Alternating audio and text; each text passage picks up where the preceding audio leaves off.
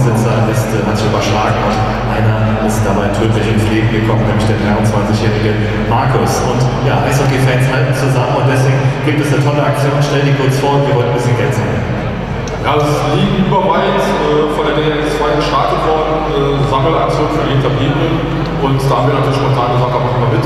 Deswegen seit dem Köln-Spiel haben wir nicht unsere Spardose erstellt, sondern den Stanley Cup zum Sammeln und haben jetzt beim ersten Mal schon über 200 Euro zusammengekriegt. Auf das